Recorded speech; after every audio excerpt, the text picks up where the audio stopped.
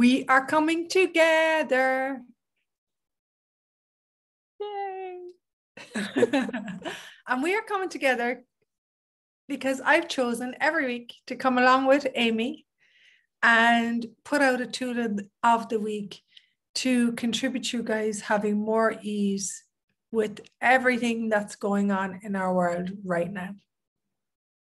Thank you so much, Rachael. You are so, so welcome. So, tool of the week. It's got to be is this mine? Someone else's or something else's. So, I use these tools like all the time. And sometimes, Amy, even I get tripped up, temporary hijacked. Yeah. Yeah. You know me what I too. mean?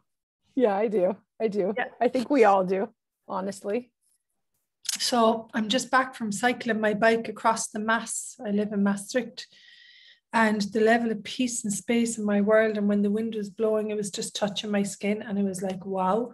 Mm. And while I was on the bike, I was like, this is my reality. Like, you know, if you have a place in your life where you've peace and ease, that's your reality. And then yesterday, yesterday, I was driving somewhere and I was saying, I was off. And Mhm. my grandmother used to say, I'm Irish and, my, and we've loads of old Irish sayings. And my grandmother would say, You're not yourself at all today. Brilliant, isn't it? Yeah, it really is. Yeah, you're not Yeah. yourself at all today. And what I would say, it's not, it doesn't occur often. And for about an hour, I just wasn't myself.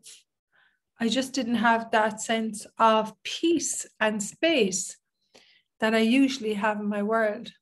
Mhm. And, you know, is this mind something else or someone else's? Something else or someone else's?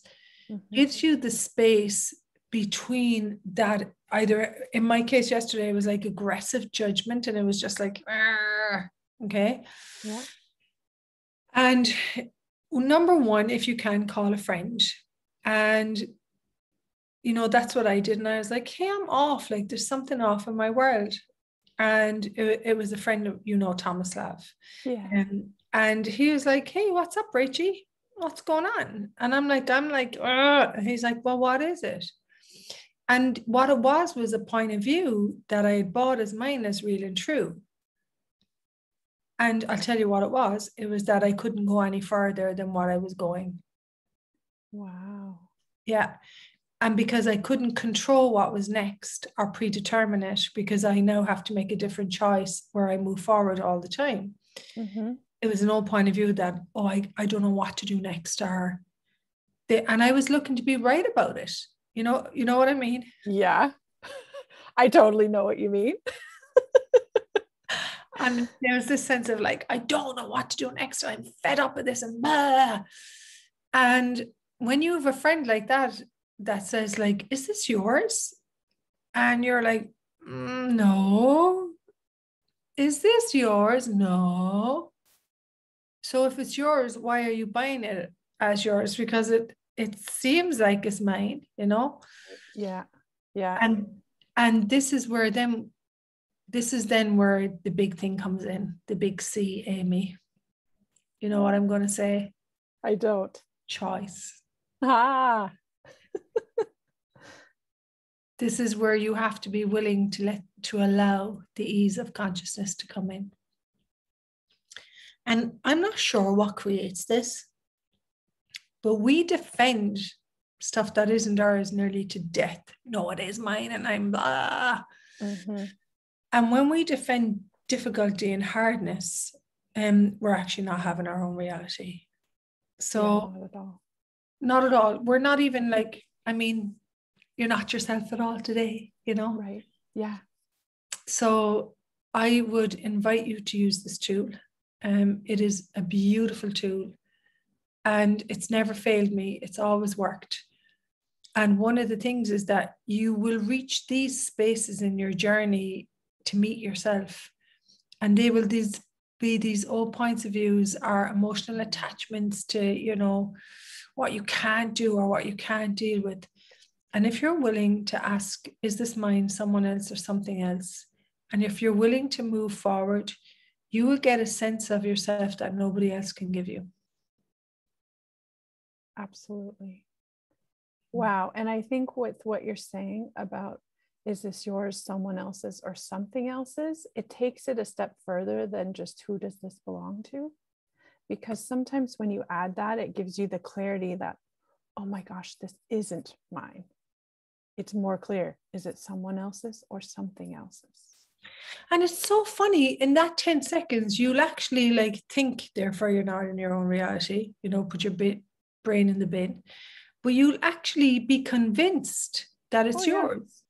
Yeah. 100%. And, and you'll actually forget. It's like you forget what it's like to be you. Totally.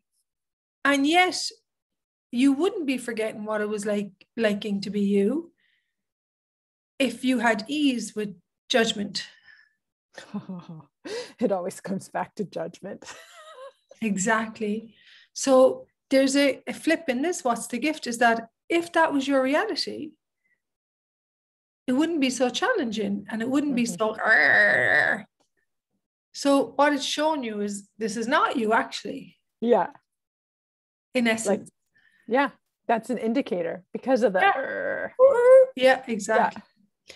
So ease is the choice. And when you move towards ease, the more will follow. But when you do drama and upset and emotional thoughts, feelings, and all that attached disease and unease, you'll have more of that. And mm-hmm. for me, it's like if you choose, there's ease available for you. And it's beautiful, it's wonderful. And by goodness, does it take a lot of vulnerability oh, yeah. to truly give that ease the chance to work.